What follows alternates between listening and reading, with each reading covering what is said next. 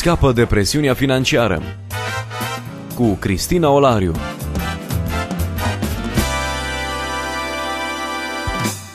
Bine v-am regăsit, dragi ascultători, la o nouă întâlnire și astăzi căutăm soluții foarte practice în Cuvântul lui Dumnezeu la probleme financiare. Invitat alături de mine este pastorul Titus Păștean de la Biserica Baptistă Vox Domini din Timișoara, reprezentant național Crown Financial Ministries în România. Bun revenit în studioul nostru! Bine v-am regăsit!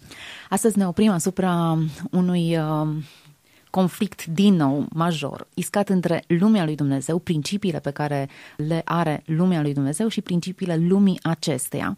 Dacă ne uităm cu atenție în jurul nostru, oamenii sunt caracterizați de un anumit curent uh, hedonist, am putea spune. Să mâncăm, să bem, mâine vom muri. Să ne fie bine acum, să reușesc acum să-mi instalez o anumită bunăstare. Ce se întâmplă după acest mâine nu mă mai privește. Cum arată acest principiu oglindit în lumea lui Dumnezeu? Da, interesantă remarcă și foarte adevărat, ceea ce Scriptura de mult afirma că se va întâmpla și se va accentua această trăire pentru astăzi, că mâine vom muri, este tot mai prezentă. Însă, într-adevăr, când ne uităm la ce spune Scriptura despre o astfel de gândire, astfel de mentalitate, este interesant să constatăm că regăsim alt model – Deja vorbeam în emisiunile anterioare despre această preocupare de sine, capăt al tunelului, capăt al firului. Vorbeam despre ideea de socialism și despre drepturi, mai degrabă decât despre responsabilități. Ori în împărăția lui Dumnezeu, vis-a-vis de această idee al eu sunt capăt de drum, vedem modelul multigenerațional în care eu nu sunt capătul drumului, nu este despre să mâncăm și să bem, căci mâine vom muri, ci este despre a recunoaște dreptul sau calitatea celor de dinaintea mea și a mă vedea la mijlocul procesului ca responsabil de a lăsa o moștenire generației care vine. Și lucrul ăsta poate că vom spune, da, așa e pentru toată lumea, o știm. Încercăm să facem case și să lăsăm la copii să nu le fie la fel de greu uh, ca și nouă. Da, din punctul acesta de vedere ne gândim că urmează să... Uh, dacă am reușit să facem casă, să o lăsăm, ar fi bine. Și totuși, ca și fond, uh, preocuparea oamenilor în general care nu l-au pe Dumnezeu în centru și care trăiesc, poate fără să-și dea seama, chiar fiind creștini, după gândirea aici, acum și maxim posibil, ideea de a lăsa o moștenire, mai întâi de a recunoaște ceea ce am primit din urmă și de a cinsti pe înaintaș și de a, a pregăti o altă generație, nu este foarte comună. Mai degrabă, manifestăm ceea ce cunoaștem ca și conflictul între generații, în care când am ajuns și noi un pic cu nasul mai sus, începem să privim în, în urmă, să spunem, bătrânii noștri, retrograzii, înapoiații, ce știu ei. Pentru că noi ne vedem centrul Universului, scopul pentru care toți cei din jur există, să fiu împlinit, să mă ajute, să scot maximum, să obțin tot ceea ce pot ori lucrul acesta nu este ceea ce Dumnezeu intenționează. În perspectiva lui Dumnezeu, Dumnezeu, până și binecuvântarea, comunică că o dă gradual și din generație în generație și că o generație poate să fie o binecuvântare pentru următoarea generație. Acum veți spune ce relevanță are asta practic pentru noi. Păi unul dintre lucrurile în care eu, de exemplu, am văzut cum această gândire se manifestă sau nu se manifestă este modul în care, după Revoluție, oamenii s-au uitat la afaceri. S-a bucurat omul de Revoluție, s-a bucurat de ideea de capitalism și și-a spus vreau să fiu om de afaceri, vreau să progresez. Și ce a gândit românul nostru este ca în două luni sau în doi ani sau în trei săptămâni să ajungă la gradul de stabilitate și de bogăție pe care îl vede la vecinul lui, fără să ia în calcul că cine are ce are, posibil și foarte probabil să fie rezultatul muncii unei una, două, trei, patru generații. Și pentru că am ignorat un astfel de fapt, ceea ce se vede este o încercare de îmbogățire rapidă cu orice preț. De aceea oamenii s-au apucat de afaceri, au plecat împreună ca asociați, de exemplu, dar pentru că vroiau să obțină maximum din experiență, au ajuns să înșele, asociații angajații, statul și așa mai departe, pentru că s-au văzut cumva decalat sau în pierdere. Până acum n-am avut, acum avem, acum obținem totul. Ori în perspectiva împărăției lui Dumnezeu, în care vedem binecuvântarea și progresul clădindu-se de la o generație la alta, dacă știu că am plecat de la zero, atunci așteptarea mea este să aduc un plus de valoare decent.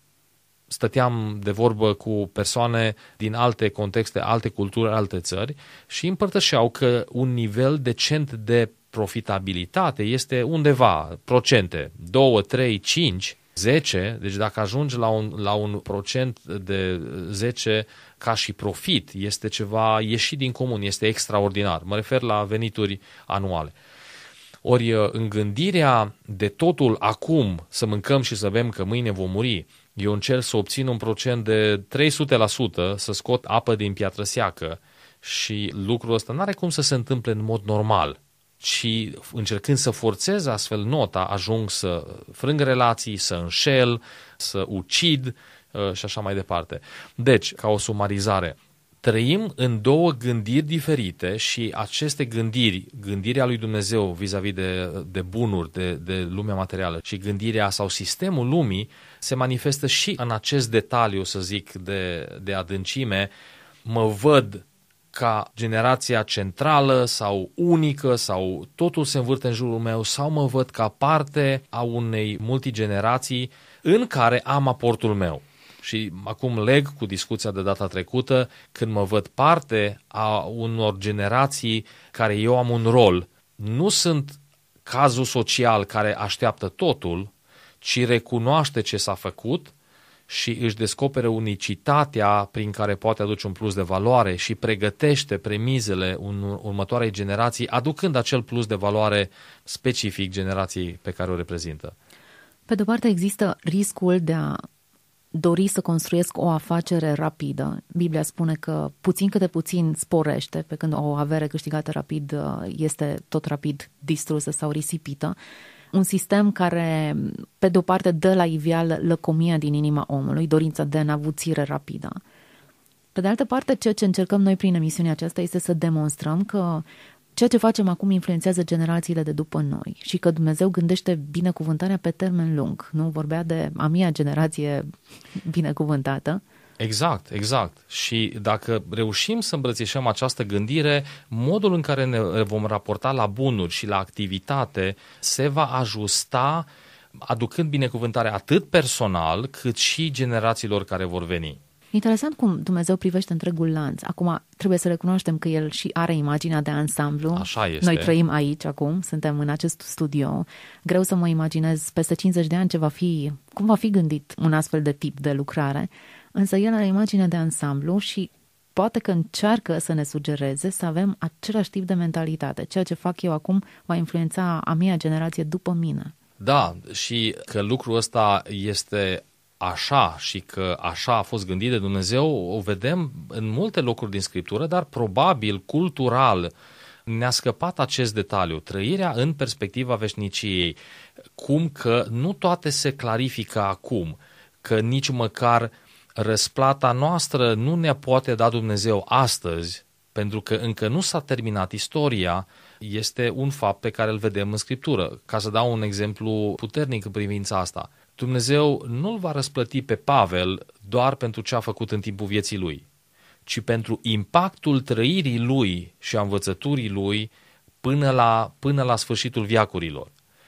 De aceea trebuie să avem această gândire că nu totul se termină aici, nu se trage linie când am spus la revedere, ci trebuie să gândim și să ne trăim viața înțelegând că ceea ce facem noi are un, un impact durabil care depășește generația noastră sau momentul prezent și poate, poate merge până la mia generație. Când avem o astfel de gândire, sigur deciziile noastre se vor schimba, pentru că vom uh, alege în aparență să pierdem după perspectiva sau să momentului foarte puțin. sau să câștigăm foarte puțin, știind însă că răsplătirea lui Dumnezeu și adevăratul câștig se va acumula în timp. Când însă ardem lumânarea până la capăt și acum trebuie totul maximum de profit cu orice preț și așa mai departe, când totul se învârte în jurul nostru și vedem foarte punctiform, pierdem această imagine de ansamblu și ne privăm pe noi înșine de, de binecuvântarea lui Dumnezeu și de o viață împlinită. Pentru că o viață împlinită își găsește cu adevărat sensul în această imagine de ansamblu lărgită și nu în trăirea pentru mine sau cum spun americanii me, myself and I sau cum spune Scriptura să mâncăm și să bem acum că mâine vom muri. Într-un fel, lucrul acesta se reflectă pe toate palierele, pornind de la poluare, la lumea pe care o lăsăm copiilor noștri, intoxicată de legi proaste sau gândite pe un termen scurt. Putem evada multe alte domenii și să identificăm această mentalitate de un bine imediat acum, fără să urmăresc o acumulare ulterioară. Dar un light motiv deja al emisiunii noastre este acest, această sintagmă, să aduc un plus de valoare, contribuția pe care o pot aduce eu, nu doar pentru un bine imediat, ci pentru, pentru mai multe generații. Îmi place perspectiva aceasta, recunosc că nu m-am gândit de multe ori la ea, mă gândesc la ce las copiilor noștri și poate că românii în mod special se gândesc la casa, apartamentul pe care îl lasă copilului, să nu uităm că procesul de natalitate este mult redus tocmai datorită acestei mentalități. Nu am ce să-i dau, nu am ce să-i ofer. Într-adevăr. Și aici poate că ar trebui din nou să pășim pe tărâmul credinței și nu neapărat să ne aruncăm nesăbuit, dar totuși să acționăm conduși de alte, alte principii. Și să înțelegem că adevărata moștenire pe care trebuie să o lăsăm generațiilor noastre nu sunt niște bunuri care la urmă urmă sunt trecătoare, ci mai degrabă un sistem de valori și o credință personală în Dumnezeul care ne poartă de grijă și care este stăpânul Universului. Pentru că vedem chiar la patriarhi această, această deplasare dinspre contactul sau interacțiunea cu Dumnezeu ca fiind altcuiva, vedem la Avram, la Isaac și la Iacov, Dumnezeul tatălui meu sau Dumnezeul de care se temea Isaac, însă deplasare care duce înspre a te întâlni cu Dumnezeu, al face Domnul tău și apoi a transfera aceeași gândire și mentalitate următoarei generații. Deci suntem responsabili să aducem un plus de valoare care să binecuvânteze generațiile care vin în primul rând cu ce înseamnă relația cu Dumnezeu și valorile împărăției lui Dumnezeu. E bine de subliniat, în timp ce lumea pune accent pe ceea ce avem, posesiunile noastre, Dumnezeu ne atrage atenția că valoarea cea mai mare e în interior, cine suntem, identitatea noastră și uh, demarcația mi se pare bine de făcut. Suntem la finalul acestei uh, emisiuni, ne-am oprit astăzi asupra unui subiect trebuie să recunosc destul de rar dezbătut sau menționat în termenii aceștia, la faptul că bunăstarea sau binecuvântarea în termenii lui Dumnezeu este o bunăstare pe termen lung și se reflectă asupra mai multor generații, iar uh, lumea te îndeamnă să consumi, să primești, să acumulezi totul astăzi, acum, aici. Ne despărțim astăzi aici. Mulțumesc uh, pentru că ați rămas alături de noi. Nu plecați pe frecvența noastră. Împreună cu noi a fost pastorul Titus Păștean de la Biserica Baptistă Vox Domini, reprezentant național Crown Financial Ministries în România. Rămâneți cu bine, Dumnezeu să vă dea înțelepciune. Scapă de presiunea financiară cu Cristina Olariu.